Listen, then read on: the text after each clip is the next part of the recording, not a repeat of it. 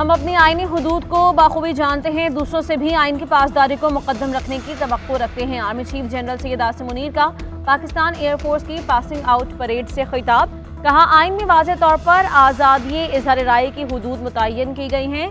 आज़ादी इजहार राय की हदूद की पामाली करने वाले दूसरों पर उंगलियाँ नहीं उठा सकते।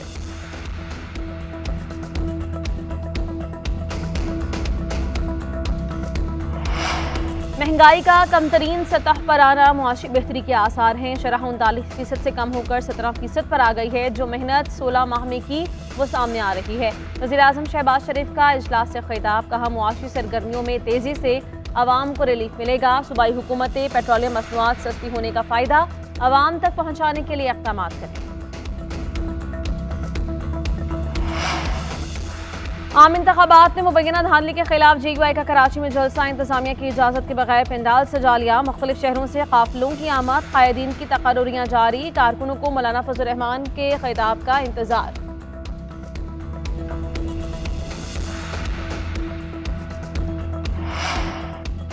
वज़ीर पंजाब मरीम नवाज़ का कहना है, पाकिस्तान में कोई भी मंसूबा उठाएँ, नवाज़ शरीफ की मोहर लगी है। वज़ीर अला बनी तो हर तरफ़ गंदगी के ढेर थे। चार माह के अंदर पूरे पंजाब में सफ़ाई का निज़ाम लेकर आएँगे। छत्तीस अजला में वेस्ट मैनेजमेंट कंपनीज़ लेकर आ रहे हैं। अब हर शहर में मिसाली सफ़ाई होगी।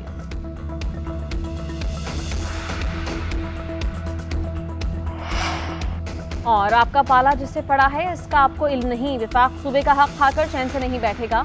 न ही विफाकी हुकूमत को चैन से बैठने दूँगा। वज़ीर अला खबर पखनखा अली अमिन गंदापुर का कहना है, हमारे वसाइल को खैरात ना समझा जाए, सूबे का हक लेकर दिखाऊँगा।